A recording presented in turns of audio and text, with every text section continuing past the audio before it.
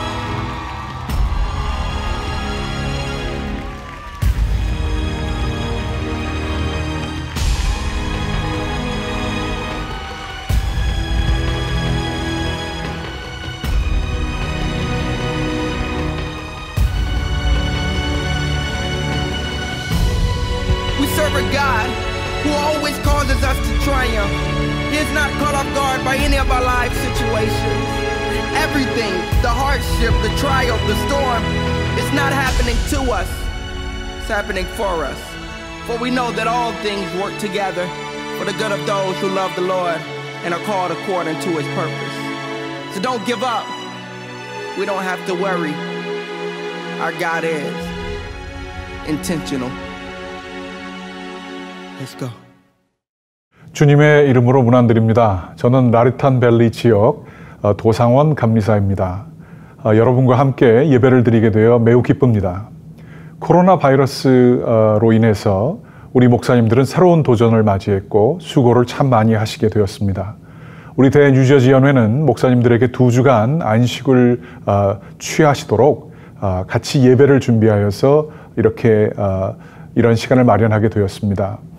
어, 특별히 또 어, 6월 셋째 주와 넷째 주에는 새로 임지를 맡아 가시는 목사님들이 어, transition period 과도기를 맞이하는 시간입니다. 그래서 이 시간 어, 그 교회들도 이 예배를 통해서 같이 은혜를 받게 되기를 원합니다. 연합감리교회는 연대주의가 특성입니다. 개교회를 뛰어넘어서 이제 같이 저희가 예배를 드리게 될 때에 크신 은혜가 여러분들과 함께 하시기를 간절히 기원합니다. 오늘 말씀을 전해주실 어, 목사님은 팰리사이드 District의 김진아 감리사님이십니다. 이제 다 같이 예배로의 부름을 하실 때에 저는 얇은 글씨체를 읽고 여러분께서는 굵은 글씨체를 읽어 주시면 되겠습니다. 허다한 증인들이 우리를 둘러싸고 있습니다.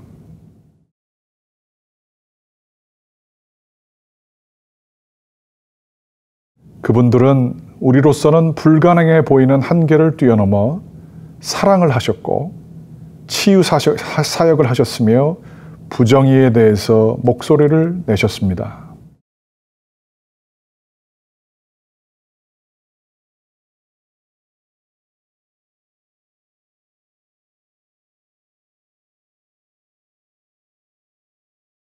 이제 다 같이 개회 기도를 화면에 나온 대로 같이 읽으시도록 하겠습니다. 모든 영혼들의 하나님, 주님은 모든 세대에 걸쳐 신실하신 분이십니다. 모든 시간과 시대를 걸쳐서 주님은 영혼들의 마음과 중심을 변화시키시사 주님의 길이 활짝 열리게 하셨습니다. 우리가 연약해지고 실망해서 이 세상에서 주님의 자녀로 살 수 없을 것 같을 때에 주님 저희를 도와 주옵소서. 계속해서 우리를 활짝 열어주시사 우리 주변에 언제나 임재하시는 주님을 대면하게 하시옵소서. 우리가 주님의 눈과 심장으로 세상을 바라보게 하옵소서. 하나님 우리를 움직여 주옵소서. 예수 그리스도의 이름으로 기도드립니다. 아멘. 우리의 위로 되시며 소망 되시는 우리 주님을 바라보며 우리 이 찬양 기쁨으로 올려드리기 원합니다.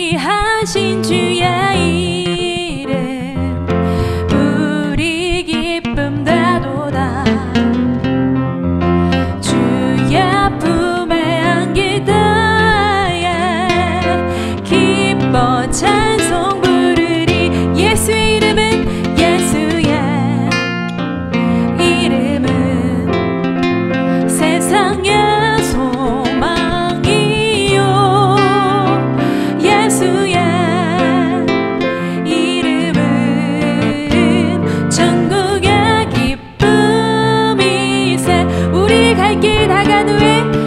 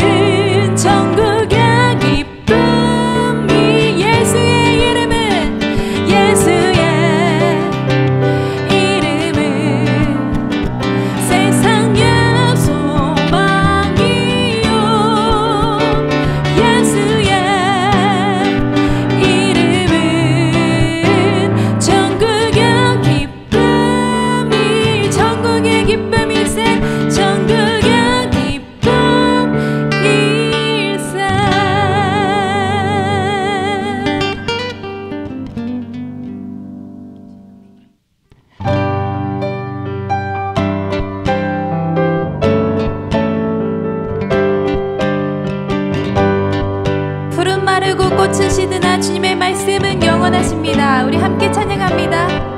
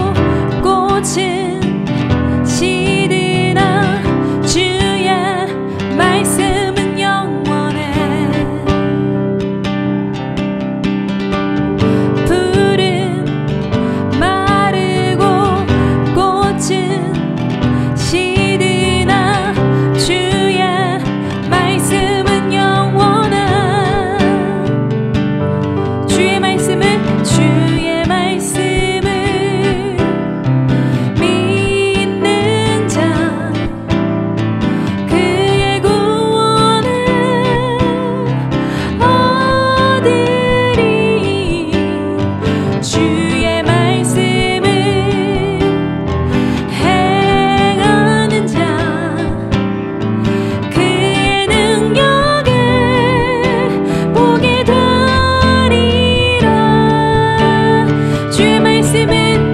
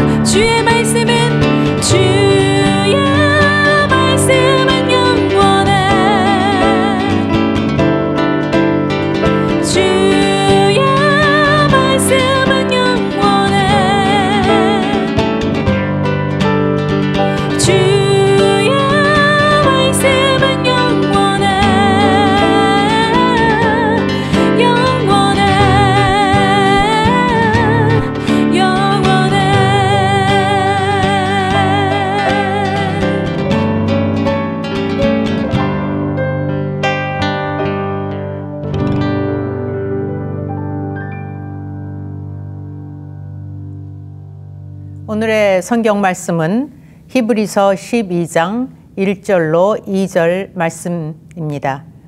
받들어 봉독하겠습니다. 이러므로 우리에게 구름같이 둘러싼 허다한 증인들이 있으니 모든 무거운 것과 얽매이기 쉬운 죄를 벗어버리고 인내로서 우리 앞에 당한 경주를 경주하며 믿음의 주여 또 온전케 하시는 이인 예수를 바라보자. 저는 그 앞에 있는 즐거움을 위하여 십자가를 참으사 부끄러움을 개의치 아니하시더니 하나님 보좌 우편에 앉으셨느니라. 사랑하는 여러분, 코비드 사태로 인해서 여러 가지 어려운 점이 많으시죠. 저도 여러 가지로 어려운 점이 있지만 그 가운데서도 밝은 모습을 발견하고 있습니다. 그 중에 하나는 제가 올해 90세 되시는 어머니를 모시고 살게 된 것입니다. 자녀들에게 짐이 되기를 원치 않으셔서 저희 집에서 하룻밤도 지내려고 하시지를 않았었습니다. 그런데 락다운이 발표되면 꼼짝도 못 하신다고 협박 반 설득 반 해서 노인 아파트에 혼자 사시는 어머니를 저희 집으로 모시고 왔는데 벌써 석 달이 되었습니다. 40여 년 만에 한 집에서 어머니랑 같이 살며 어머니의 삶의 모습을 가까이서 보게 된 것이 제겐 축복입니다. 아버지가 갑자기 돌아가셨을 때 어머니는 자식과 살지 않겠다고 선포하시고 17년 동안 불평 없이 살아오셨습니다. 혼자 잘 계시는 게 감사는 했지만 엄마는 워낙에 씩씩한 분이니까 잘 견디시는구나 생각했었습니다. 그런데 이번에 석 달을 한 집에서 살면서 어머니의 용맹의 출처를 알게 되었습니다. 어머니는 40년 전에 지인의 전도를 통해 예수님을 만나신 분입니다. 40년을 한결같이 예수님을 소녀처럼 사랑하시는 모습을 아, 보면서 아, 이번에 참 그것이 하나님이 제게 주신 선물이라는 것을 깨달았습니다. 제 어머니가 들으시면 부끄러워 하시겠지만 어머니는 참 구제불능의 음치이십니다. 전혀 음정과 박자를 맞출 줄 모르는 분인데 예배 드리실 때 어머니는 목청을 높여서 어, 찬송가를 부르십니다. 어머니가 사랑하는 주님께 온 마음과 온 힘을 다하여 헌신의 제사를 드리시는 겁니다. 어머니가 어떻게 성경을 읽으시는지, 어떻게 기도를 하시는지, 어떤 자세로 예배를 드리시는지 옆에서 지켜보면서 나도 늙으면 저렇게 돼야지 아, 그렇게 마음에 다짐을 합니다. 어머니의 용기와 당당함, 아, 영과 육의 건강은 예수님을 쉬지 않고 바라보는 믿음의 소산이라는 것을 깨닫고 요즘 저는 믿음의 경주를 하는 법을 배우고 있습니다. 히브리서 기자는 우리 인생을 장거리 달리기 경주에 비유합니다. 인생길이 평탄하지만은 않습니다. 사고를 당하기도 하고 사랑하는 사람을 잃기도 하고 돌부리에 치여 넘어지기도 합니다. 성공하는가 싶으면 졸지에 무너지기도 하고 아, 관계가 형편없이 깨어지기도 하면서 또는 병마와 싸우고 전염병 때문에 두려움에 갇혀 살기도 하고 인생길에는 평지보다는 험한 길, 산길, 사막길, 골짜기 길이 더 많습니다. 우리 믿음의 경주 또한 다르지 않습니다. 여러분, 믿음의 경주를 하는 중에 너무 어렵고 힘들어서 포기하고 싶었던 충동을 느낀 적은 없으신가요? 더 이상 한 발짝도 더 디딜 수가 없어서 그만 주저앉고 싶었던 순간은 없으셨나요? 아무리 길이 험하고 힘이 들더라도 아무리 여러 번 넘어지고 자빠졌더라도 무엇보다도 중요한 것 한 가지만 잘 알고 지키시면 우리는 믿음의 경주를 완주할 수 있습니다. 본문 2절 하반절을 다시 읽습니다. 믿음의 주요 또 온전케 하시는 이인 예수를 바라보자. 바라봅시다. 누구를요? 예수님을요. 그 예수가 누구시라고요? 예수 그리스도는 믿음의 근본이 되셔서 우리의 믿음을 이끄실 뿐만 아니라 믿음을 완성하는 분이십니다. 그리스도는 죄로 인해 심판받을 수밖에 없는 불완전한 인생들을 십자가에서 당신 흘리신 피로 구속하셨습니다. 그분은 모든 믿는 자를 하나님 앞에 의롭다 인정하시고 영생을 받는 자로 변화시키는 유일한 구원자이십니다. 예수님은 믿음의 창시자요 완성자이십니다. 그러므로 우리는 이 예수님을 바라보아야 합니다. 2절에서 바라본다는 단어는 그저 막연히 멀거니 쳐다본다는 말이 아닙니다. 집중해서 시선을 고정하고 주목한다는 뜻입니다. 제가 어렸을 때 학교에서 수업 시간에 학생들이 어수선하게 집중을 안 하면 어, 우리 선생님이 반장 하고 부르셨습니다. 반장은 그때 큰 소리로 모두 선생님께 주목! 그렇게 외치면 학생들이 모두 눈을 선생님께 주목했던 기억이 납니다. 두리번거리지 말고 한 곳 예수님을 향해 주목하라고 성경은 말합니다. 그런데 영의 눈이 뜨이지 아니하면 보긴 보는데 아무것도 보이지가 않습니다. 그러니까 여기저기 두리번거리는 거 아니겠습니까? 예수님이 안 보이니까 돈을 보려고 하고 용모를 보려고 하고 사람을 보려고 하고 지위를 보려고 하는 것 아니겠습니까?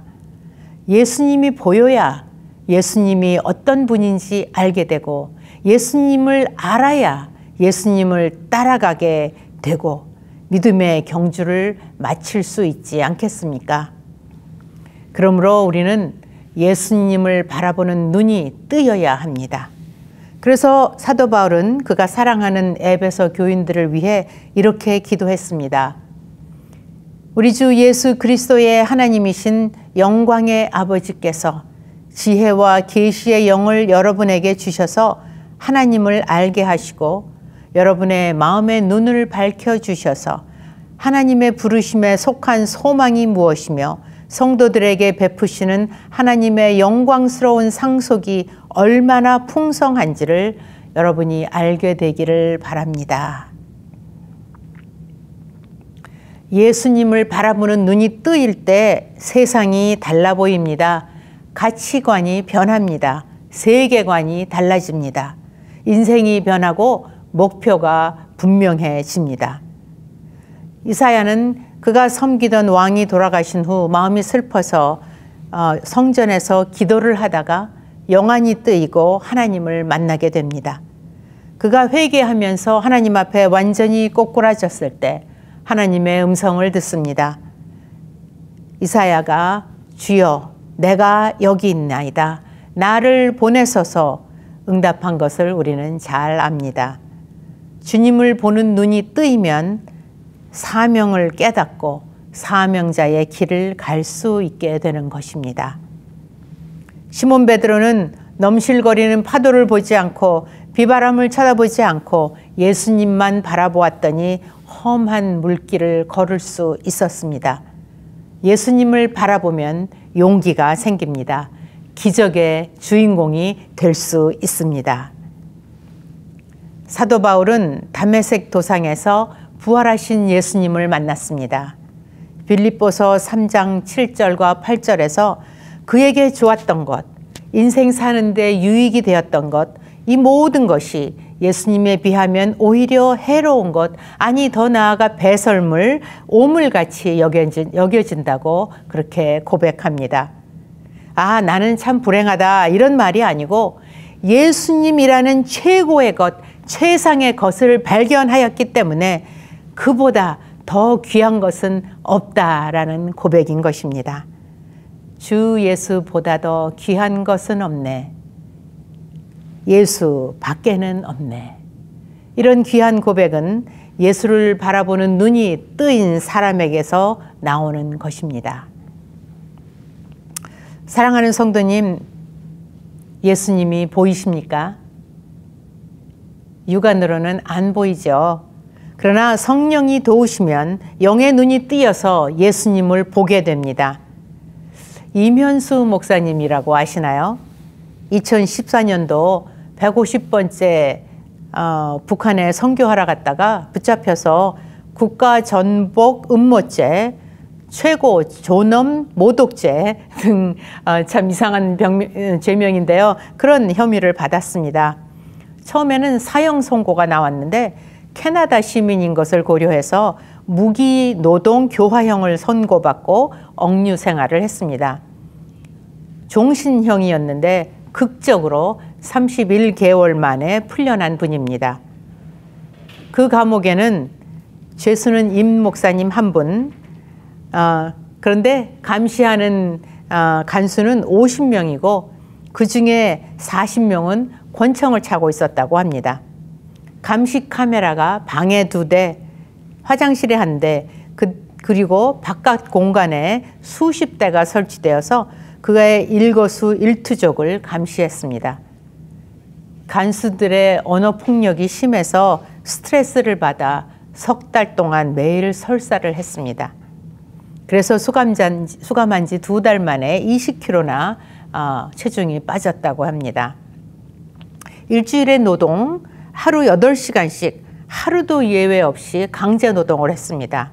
한겨울에는 꽁꽁 얼어붙은 땅을 깨고 주모, 어, 구덩이를 파는 작업을 하느라고 윗몸은 땀범벅이 됐지만 그래도 손과 발은 동상에 걸렸습니다.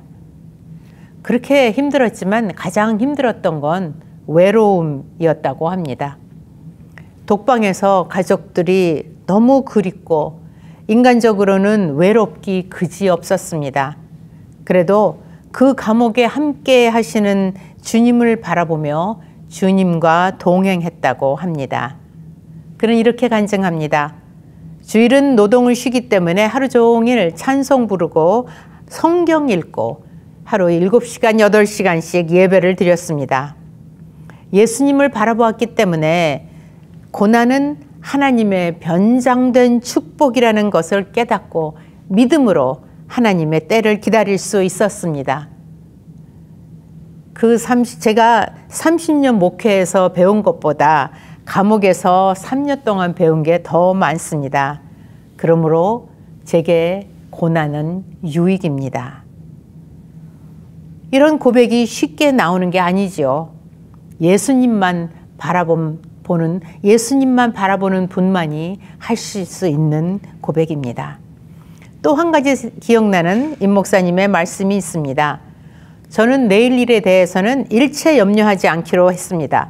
내일 일을 염려하지 말라, 내일 일을 자랑하지 말라. 그런 말씀, 성경 말씀대로 항상 하루 단위로 살기로 작정을 했습니다. 한날 괴로움은 그날의 족하니라 하는 말씀대로 공중에 나는 새를 보라 예수님 말씀하신 그대로 살아보았습니다. 그랬더니 아무런 스트레스가 없더라고요. 오늘날 코로나 바이러스로 또 인종 문제로 어, 대모로 사회가 혼란스러운 시대에 살고 있지만 예수님만 바라보는 믿음의 사람은 인간적인 걱정, 스트레스 없이 살 수가 있습니다. 사랑하는 성도 여러분, 예수님만 바라봅시다. 어떻게 하는 것이 예수님만 바라보는 것이냐고 물으신다면 답은 간단합니다. 영적으로 나태해지지 않도록 기도와 말씀 읽기, 말씀 공부하기, 예배 드리기, 성들들과 교제 나누기, 성교하기, 전도하기, 구제와 봉사하기 등등 주님의 은혜를 경험하는 모든 은혜의 통로에 열심을 내십시오. 영적 일기를 쓴다든지 시간을 정해놓고 모든 일상의 일들을 내려놓고 주님 앞에 잠시 묵상의 시간을 갖는 것 또한 주님을 바라보고 집중할 수 있는 길입니다. 예수님만 바라봅시다. 예수님께 우리의 시선을 집중합시다. 스스로에게 지금 말해보세요. 예수님께 주목! 예수님께 주목! 자, 기도하시겠습니다. 좋으신 하나님, 언제나 어디서나 우리와 함께 하신다고 약속하시고 그 약속을 지키시는 신실하신 하나님, 주 성령님 충만히 임하여 주시옵소서. 우리의 잠자는 영혼을 깨워 주시고 우리의 감겨진 눈을 열어 주시옵소서. 그리하여 지금도 우리와 함께 계시는 예수님을 볼게 하시, 볼 수 있게 하시고 주님의 음성을 듣게 하시고 담대하게 씩씩하게 태산이라도 넘어갈 수 있는 믿음과 용기를 허락하여 주시옵소서. 세상 바라보지 않게 하시고 남들 바라보지 않게 하시고 예수님에게만 주목하여 예수님이 인도하시는 길을 따라가며 기뻐 찬양하는 삶이 되게 하시옵소서. 우리 주 예수 그리스도의 이름으로 기도합니다. 아멘.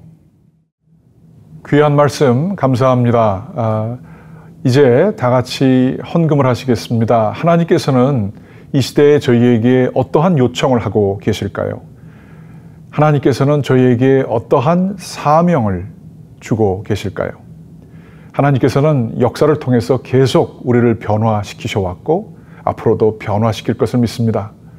이제 말씀에 따라 산을 옮기는 것 같은 용기를 가지고 우리들이 살아가게 되기를 간절히 원하는 마음으로 헌금하시겠습니다. 헌금하실 때에는 개 교회에서 온라인 헌금이나 아니면 어, 헌금을 교회에 보내는 방법도 있겠고요. 만일 교회에 어, 헌금하는 그러한 온라인으로 헌금하는 방법이 없으면 gnjumc.org 거기에 찾아보시게 되면 온라인 기빙이라는 섹션이 있습니다. 그것을 참조하셔서 거기에 각자 자기의 교회를 어, 이름으로 등록을 하시게 되면 그 교회로 헌금이 가게 됩니다. 주님께서 우리의 헌금을 축복하시게 되기를 간절히 기원합니다.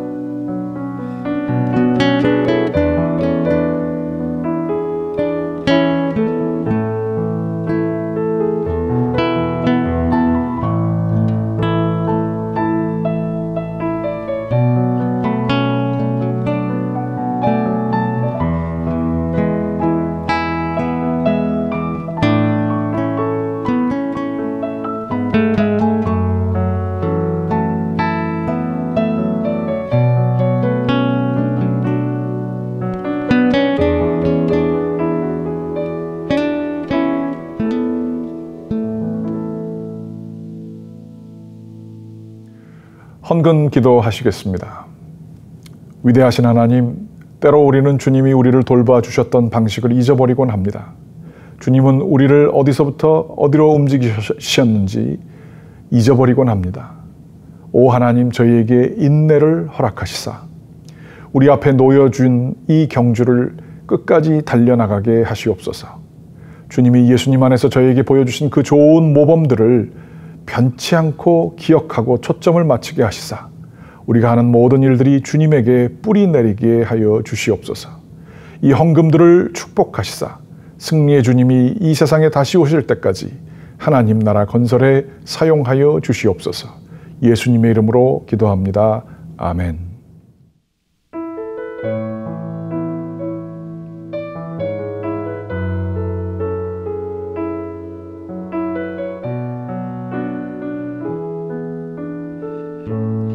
하나님의 사랑을